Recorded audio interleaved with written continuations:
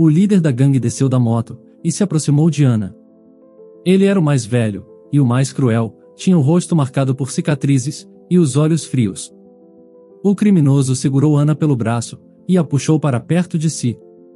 Ele a empurrou até um beco escuro que estava próximo dali e começou a fazer perguntas para ela.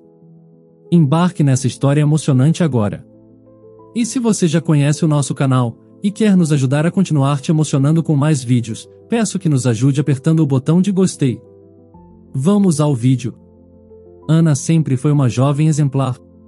Desde pequena, ela aprendeu a respeitar e obedecer a sua mãe, que era sua única responsável. Seu pai havia abandonado a família quando ela tinha apenas 5 anos.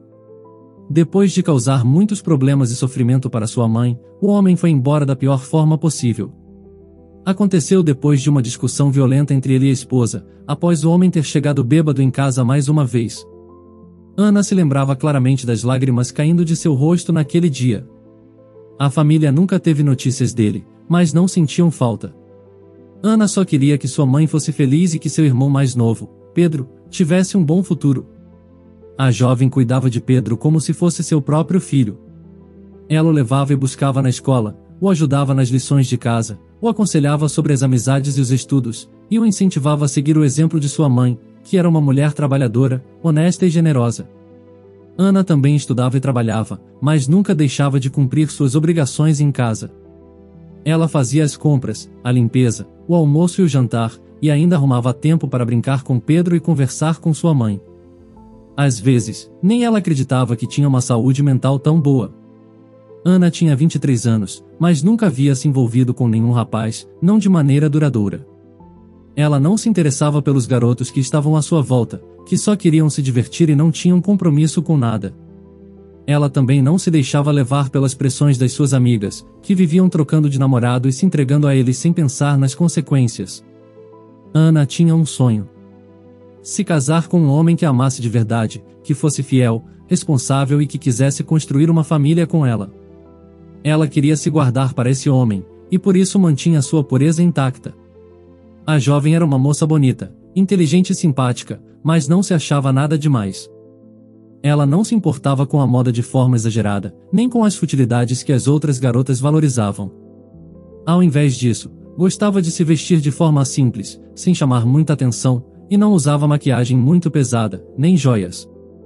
Ana gostava de ler livros e caminhar em qualquer lugar que tivesse árvores em volta. As supostas amigas de Ana não apoiavam muito o estilo de vida dela, pelo menos não a parte de que ela deveria manter sua pureza. Houve vários momentos em que tentaram convencê-la de perder a virgindade com garotos que elas diziam ser ótimos, mas que na verdade, só procuravam por um momento de prazer. Certa vez, enquanto Ana estava sentada em uma lanchonete com mais três amigas, Karine, uma delas, comentou: Deixa de ser boba, Ana, esse negócio de se guardar para o seu marido pode lhe custar caro no futuro.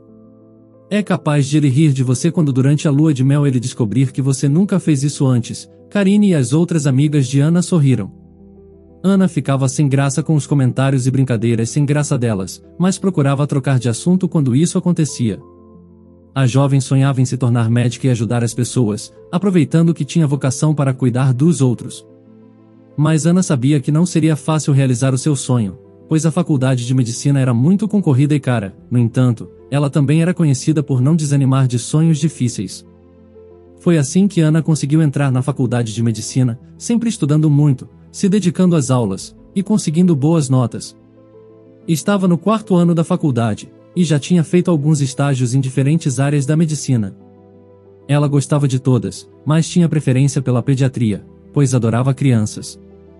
Ela se sentia realizada quando podia aliviar o sofrimento de um pequeno paciente e ver o sorriso de gratidão dos pais.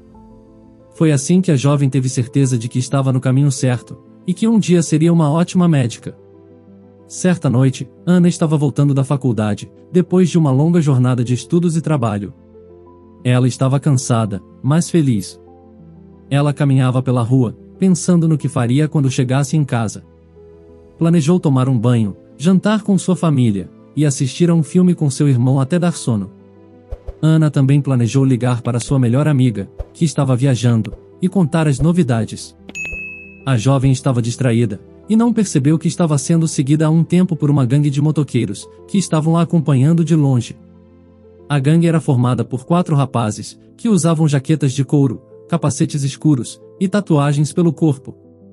Eles eram conhecidos na região por praticarem assaltos, roubos e até sequestros. Alguns diziam que eles faziam até coisas piores. Diziam não ter medo da polícia, nem de ninguém. A gangue era muito maior, mas naquela ocasião, estavam somente os quatro. Os membros da gangue se achavam os donos daquele bairro e faziam o que queriam, principalmente durante a noite. Eles viram Ana, e se interessaram por ela, acharam que ela era bonita e que poderiam se divertir com ela. Também planejavam checar se ela tinha algum dinheiro ou algum objeto de valor. Eles resolveram abordá-la, e a cercaram com as motos. Ana ficou assustada quando viu os motoqueiros ao seu redor. Ela reconheceu a gangue através dos boatos que alguns alunos comentavam na faculdade, e sabia que eles eram perigosos. A jovem tentou correr, mas foi inútil. Os quatro a cercaram, e a impediram de escapar. E então, eles começaram a olhar para a jovem com malícia.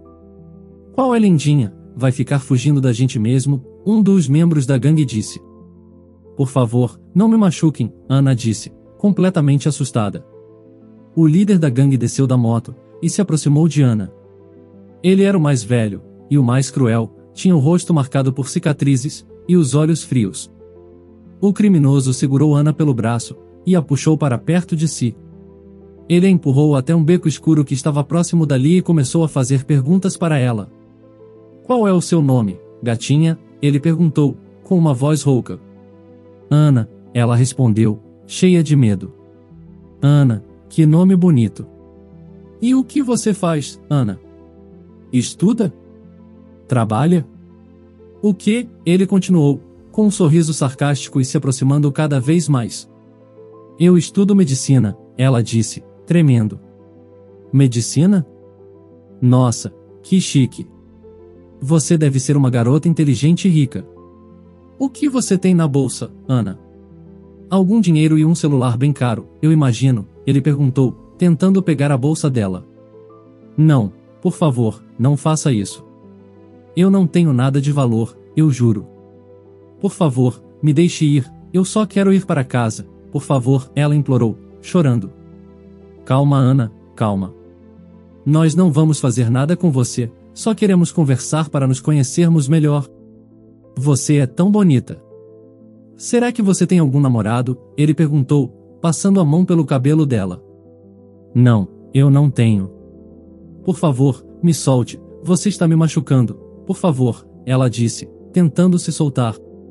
Não tem. Que desperdício, ele perguntou, baixando a mão para o seio da moça. Não, por favor, eu te dou o que você quiser, mas tenha piedade, ela gritou, prevendo o que estava prestes a acontecer. É o seguinte, Ana. Eu e meus companheiros gostamos muito de você e estamos entediados. Como a senhorita não tem nada de valor para nos oferecer, vamos brincar um pouquinho com você, depois te deixamos ir e ficamos quites, ok? Quando ele terminou de falar, os outros gangsters começaram a se aproximar. Os olhos de Ana se arregalaram, ela sentiu medo, gritou, se debateu, mas de nada adiantou. Suas roupas foram rasgadas com violência e logo aqueles criminosos começaram a abusar dela de maneira covarde. Alguns anos passaram, mas aquelas memórias nunca fugiram da mente de Ana. A jovem teve incontáveis pesadelos, ficou completamente traumatizada e quase teve que abandonar a faculdade por conta disso. Apesar de todos os esforços de sua mãe e das autoridades, ninguém conseguiu encontrar nenhum daqueles criminosos. Ana sentia raiva por causa daquela injustiça, sentia ódio daquelas pessoas. O rosto de cada um ficou gravado em sua mente, e seu desejo era que todos pagassem pelo que haviam feito. Ana havia se tornado uma grande médica. Ela se formou em medicina e se especializou em pediatria, a área que mais amava. Ela trabalhava em um dos melhores hospitais da cidade, e era reconhecida por sua dedicação e jeito com as crianças.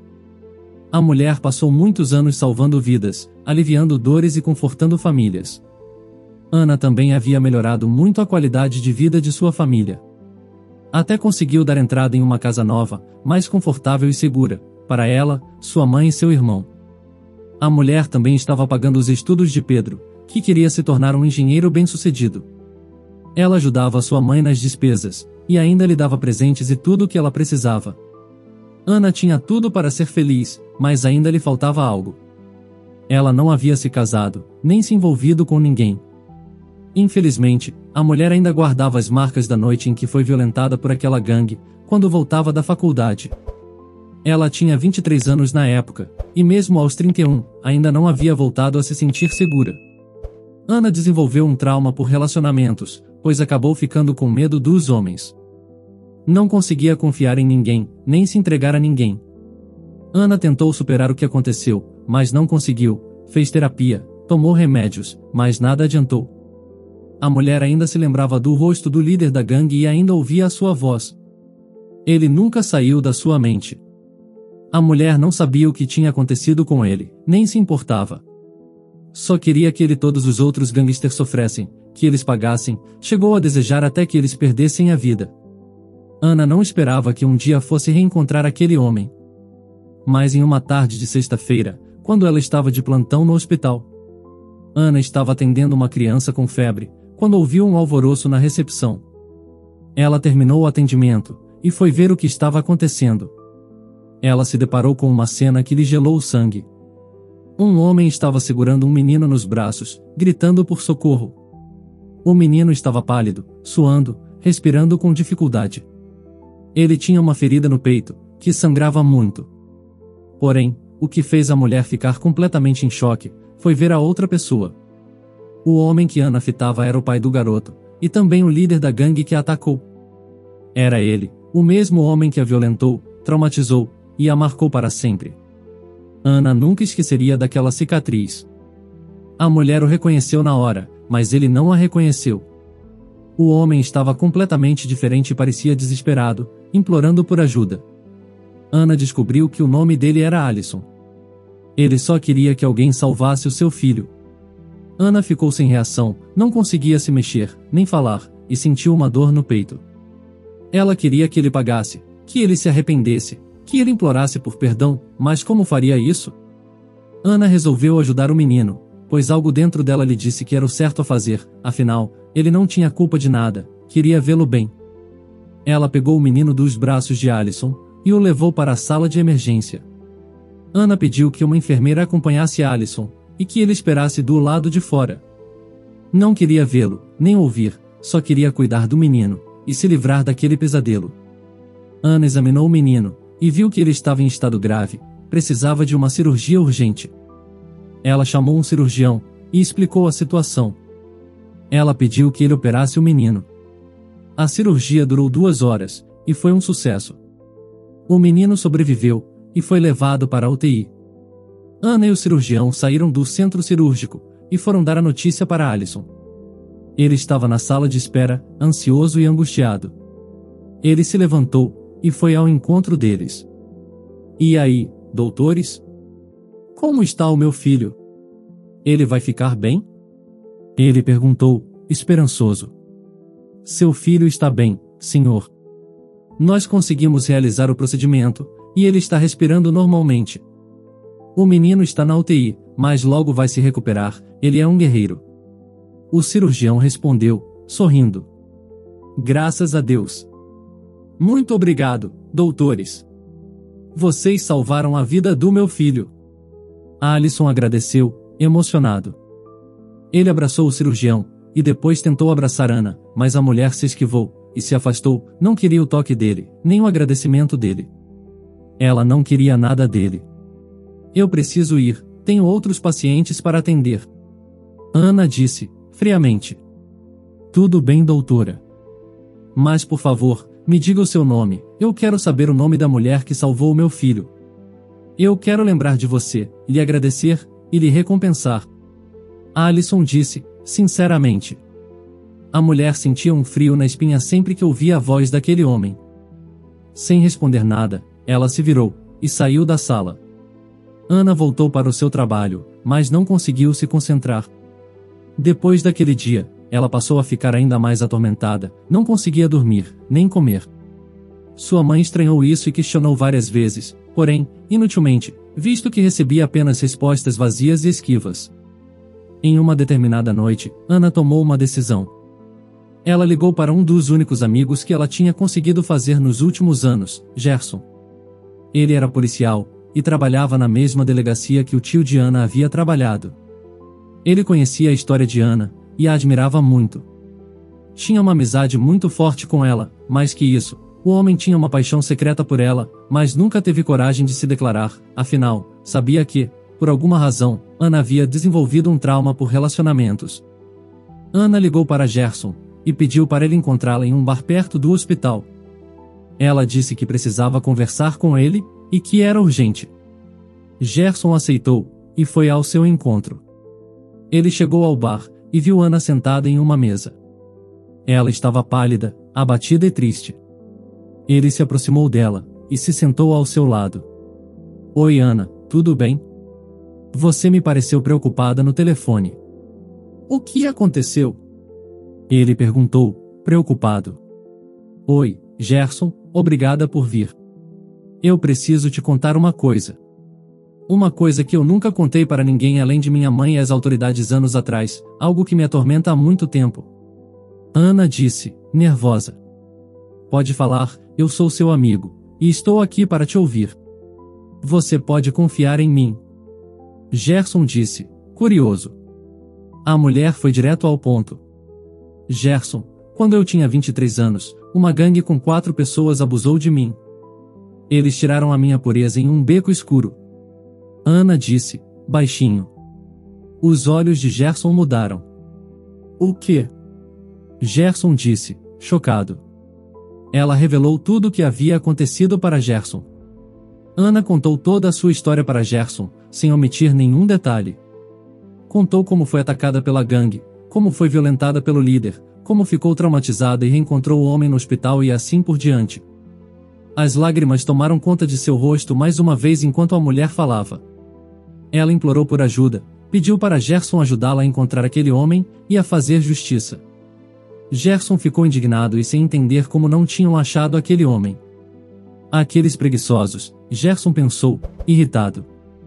Mesmo extremamente irritado depois que ouviu aquela história, Gerson tentou convencer Ana de que aquele não era o caminho certo, de que a vingança não traria paz, de que a justiça deveria ser feita pela lei. Ele tentou persuadir Ana de que ela deveria denunciar aquele homem para que o mesmo fosse preso, e assim ele pagaria pelo que fez. Mas Ana não quis ouvir, estava tomada pelo ódio e pelo rancor. Ela estava disposta a tudo, a qualquer coisa, para se vingar daquele homem. A verdade era que, lá no fundo, Gerson também queria fazer aquele homem pagar por isso, fez o que Ana pediu. Ele usou seus contatos e recursos.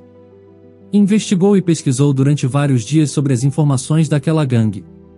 Ele descobriu o nome, o endereço, o paradeiro do líder da gangue. Alison morava em uma favela, em um barraco, com o filho e a mulher.